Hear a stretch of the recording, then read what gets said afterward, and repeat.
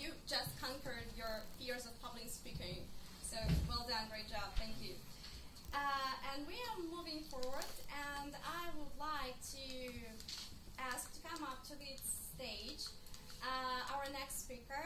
Uh, this uh, charming lady once said something like, "Well, I will easily deliver five projects, and I will get my health competent And right now, I'm striving to get my competent communicator. So I would like to ask Kate Mihailova with her project number six